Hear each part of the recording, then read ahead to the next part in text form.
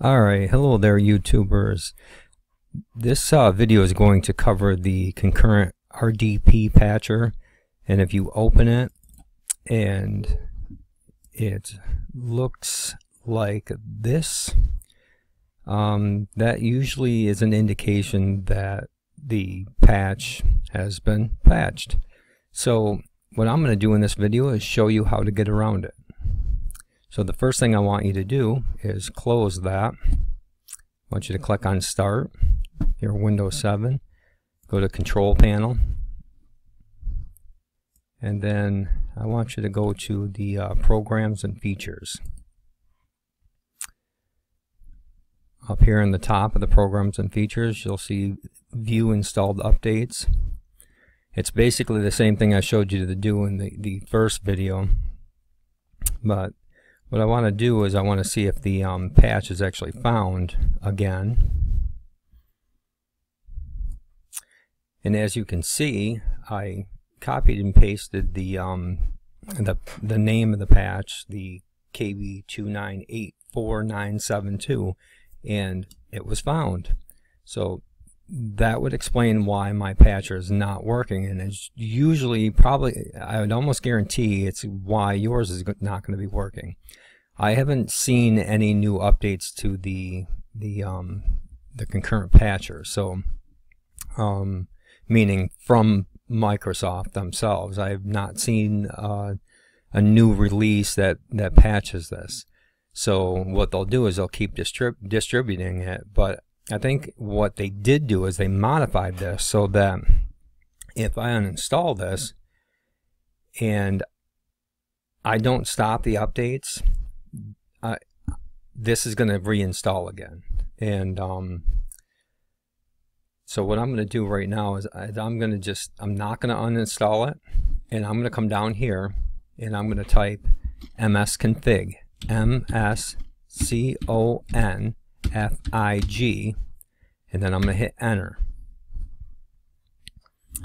And then the system configuration utility will pop up. And I just want you to click on the services tab. And then I want you to just scroll all the way down till you find updates.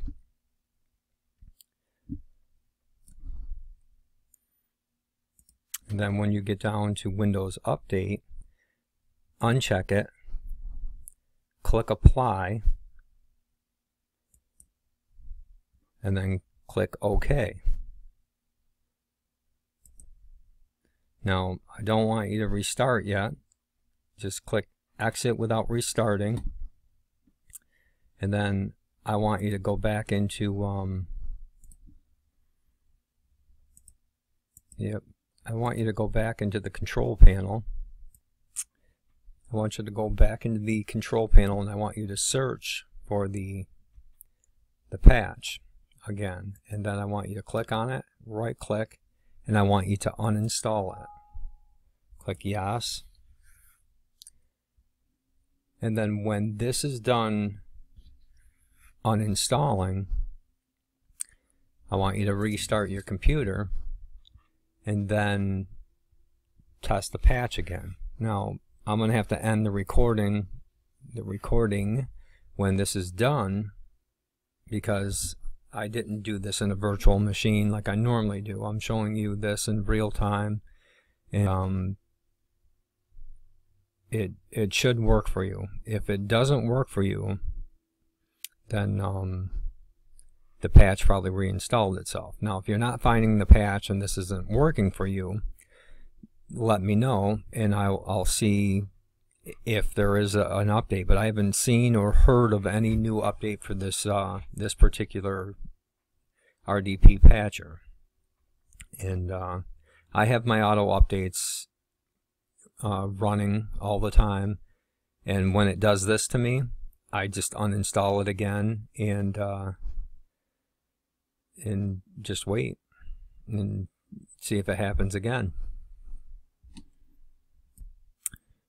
All right, and uh, when the patch is uh, uninstalled, you you'll be asked to restart your computer now, and I would suggest you go ahead and do that. So I'm going to pause the video. I'm going to, or I'm going to stop the video, and then when I'm done, I'll make another small video so that you can see whether it worked or not. Alright, thank you for watching, and I, I hope this works for you. Leave me some comments.